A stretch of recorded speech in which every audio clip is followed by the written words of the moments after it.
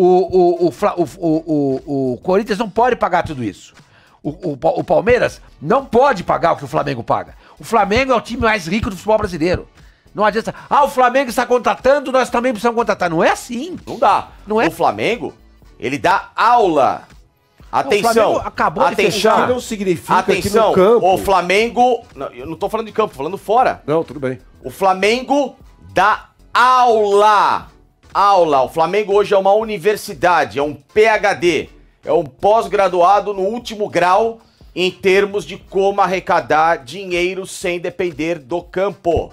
Salve, salve nação! Saudações rubro-negras! Galerinha, vamos para mais um vídeo, mais um corte aqui do canal. Vamos acompanhar agora o pessoal lá da Placar TV, os paulistas, enchendo a bola do Flamengo quando se trata de finança, quando se trata em um time financeiramente muito bem. Obrigado. Ontem nós postamos um vídeo aqui onde Alexandro, ex-jogador do Flamengo, falou da convivência dele, o que ele viu a mudança de um clube devedor para hoje um clube que fatura milhões. Se você não viu, vale a pena ver, vou deixar o link abaixo na descrição do vídeo. Vamos acompanhar aí o pessoal enchendo a bola do Flamengo, tá muito legal. Ainda quero dar uma comparada ali com Palmeiras, Corinthians, mas não dá, né? Todos os créditos aí ao pessoal da Placar TV, link abaixo na descrição do vídeo. Galerinha, vamos ao vídeo. Antes do vídeo, você que não é inscrito no canal, inscreva-se no canal, ative o sininho das notificações para todos. Deixa seu like, isso ajuda muito o nosso trabalho. Feito tudo isso, vamos ao vídeo. O futebol hoje tá muito inflacionado. Mas quem inflacionou foi o Flamengo. hein? Não, não, não, não, não. No E o. Palmeiras veio, Não. veio a reboque Não, e não. os outros times estão indo não, também. Sormani, no mundo.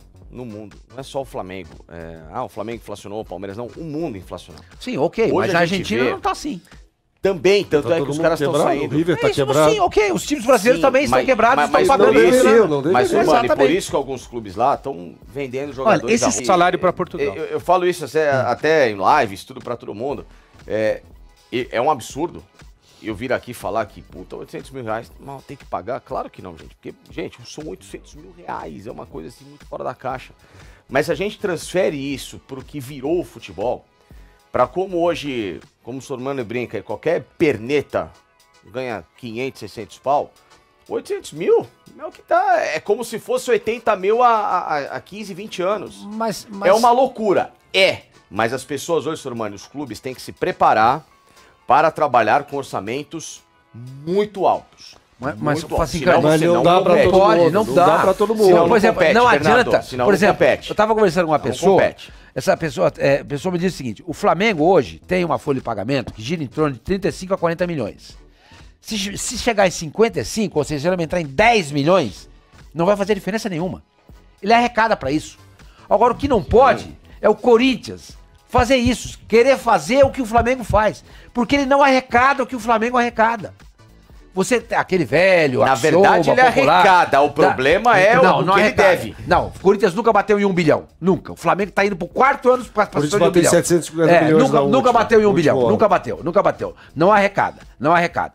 O, o, o, o, o, o, o Corinthians não pode pagar tudo isso.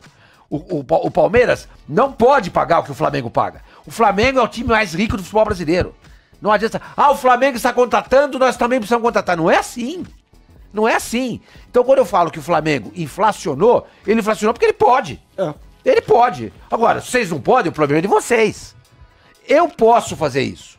Eu você, posso. Você, Sormani, você até pode, você até pode, mesmo no caso do Palmeiras, que, que tem uma, uma situação estável, você até pode fazer um investimento mais arriscado. Porque um clube desse, na chamada conta de padaria que a gente brinca, você equaciona, divide a dívida bonitinho mediante o que você arrecada. O que não pode é o clube não gerir, como a gente conversava, mais receitas de marketing e quer viver do próprio mundo há cinco anos. Como o Corinthians está, como o São Paulo, como o Palmeiras, com camisa travada, com patrocínio defasado, com um monte de coisa. Não dá. O Flamengo, ele dá aula. Atenção. Flamengo acabou de atenção. fechar. Não significa que Atenção, no campo... o Flamengo. Não, eu não tô falando de campo, tô falando fora. Não, tudo bem. O Flamengo dá aula.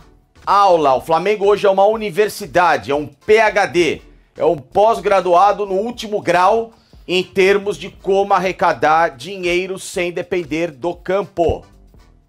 O Flamengo, hoje Flamengo, vende Facinho, até o, o- o fio do Não, não, cabelo o Flamengo, do Gabigol. O Flamengo fechou agora um patrocínio Pra, eu não esqueci Texaco. o nome da empresa. Texaco. Texaco. Exatamente, com a Texaco. Pois é, e a Texaco nem existe mais como posto de gasolina, cara, no, É, no Não, ela- Brasil. com óleos, né? Ela só vende produtos, é uma Sim. coisa muito Então, mas é pra isso. camisa de treinos Só pra camisa de treino. e pra Banner. banner, tá?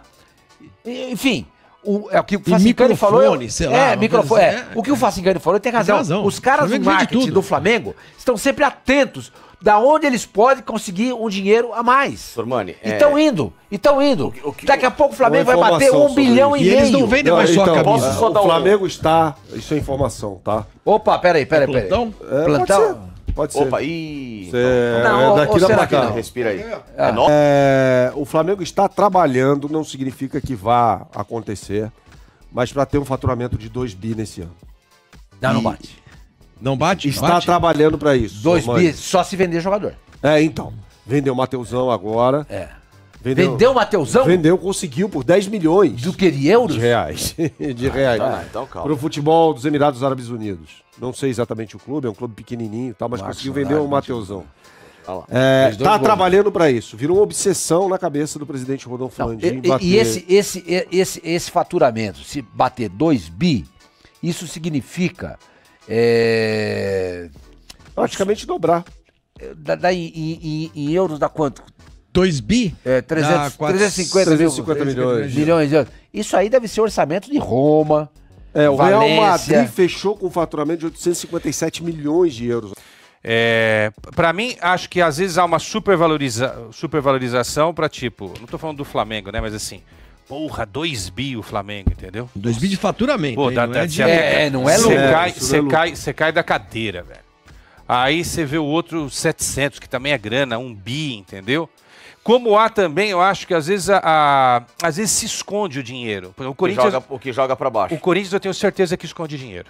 Eu já falei, eu sou um dos poucos jornalistas nesse país que defende essa tese. Muita gente tá atrás de mim Não hoje. só o Corinthians, né? Que o Corinthians. Não, então, tudo bem. tô não, Não, sou, mas- não mas- sou o é, Corinthians. mas- mas- mas estamos na mesma exato. sintonia, eu também acredito que, você. esco- É. que esconde dinheiro. O Palme- o Palmeiras, o Palmeiras tem dinheiro pra caramba, cara. É, e, esco- e esconde dinheiro. ah, mas fica com o Pires na Então mão é aí, aquela é. história. Os caras escondem o dinheiro, escondem o dinheiro, falam que não tem, fazem papel de coitadinho. Eu provo isso e eu, eu, eu desafio qualquer cara do Corinthians, do conselho, quem quer que seja, a vir discutir comigo isso que o Corinthians não tem dinheiro para pagar o estádio, não tem para pagar isso, aquilo. O Corinthians esconde dinheiro, porque teve que fazer um papel do coitadinho nos últimos anos para ter o, o- a barganha, entendeu? Para negociar com a Caixa Econômica.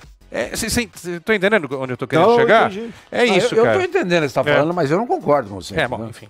Não, eu respeito muito sua opinião. Ela é bem embasada, mas eu acho que, que os demonstrativos dos clubes aí. É, não- é que eu não confio. Esse é, É, a única é, coisa. exato, É, exatamente. e eu, acho que, por exemplo, você tem um conselho. Você tá vendo isso daqui, ó? Ah. São 68 milhões de reais. Hum. Sorma, isso foi o que o Corinthians gastou com o, o Perneta aí que tá indo embora. Lua. 68 milhões de reais. Um Entre time que. salários E, e- o, e o valor que foi pago. Foi, né? Custou 30, mais salário 38, 68, certo? 68 É. milhões. Ô, Senhor Mani, quem não tem dinheiro nem entra numa parada dessa. Porque assim, os, cara pode, os caras podem fazer a malversação do dinheiro. E fazem. Tá provado. Corinthians é um deles. Corinthians puxa essa fila aí. Cruzeiro acho que puxava a fila, né? Porque o Cruzeiro foi pra segunda Cruzeiro divisão, faliu. ficou três anos lá. Faliu e o Ronaldo teve que salvar. Então, quer dizer, tem o dinheiro. A questão toda é você usar muito mal esse dinheiro. Ah, É. Usar mal o dinheiro. Agora. Então, porque há o dinheiro, ninguém mas usa mal. Ninguém chega perto do Flamengo. Ah, não, O- isso que, é o- outra que, o- história. Que, o- que o Isso é Corinthians história. arrecada, claro que arrecada. E deveria chegar. Deveria. É porque eu acho que o potencial do Corinthians é o mesmo Sim, do Flamengo. sim. É o que eu Igualzinho. discutindo- é o que eu tava discutindo de Igualzinho. subestimar Só que e falta- supervalorizar, sim, Só que falta pro Corinthians Gente. gente, Ah, sim. cabeça pensante como existe no Flamengo.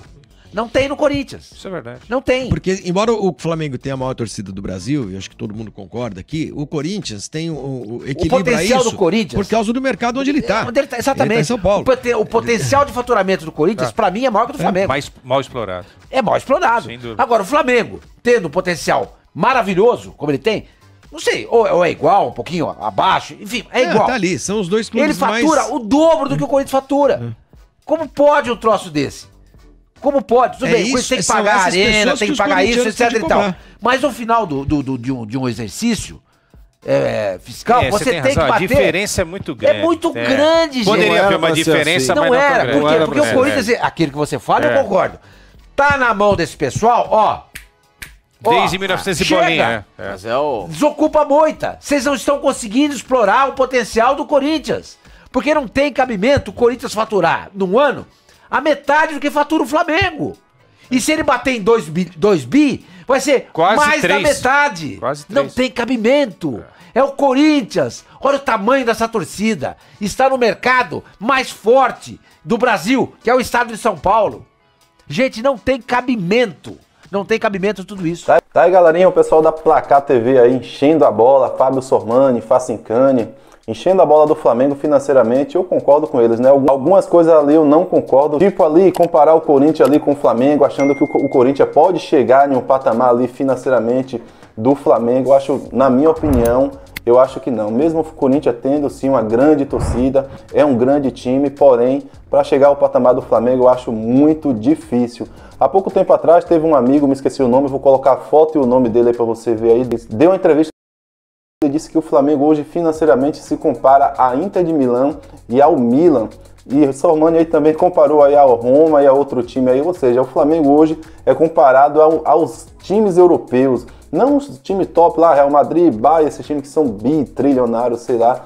Só que hoje o Flamengo é comparado a time europeu, cara. Então é muito difícil um time brasileiro, mesmo com a grandeza de um Palmeiras, a grandeza de um Corinthians, acompanhar o Flamengo em termos de finanças. E o Felipe Facicani está ali dando as opiniões dele, falando do Flamengo muito bem. Só que nós sabemos que ele tá pela aqui com a titia Leila, né? Que ele é um palmeirense.